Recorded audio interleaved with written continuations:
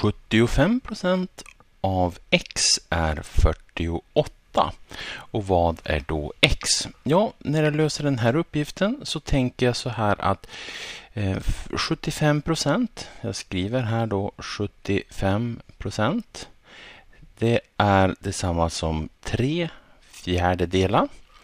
Så om jag tar talet 48 och så dividerar jag det med 3 så får jag veta vad en fjärdedel är.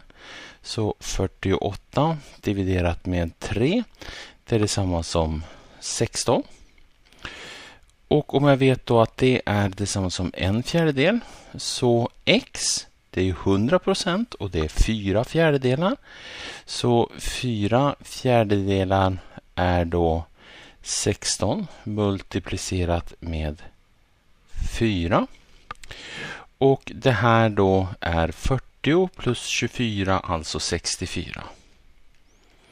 Så det korrekta svarsalternativet är A, 64.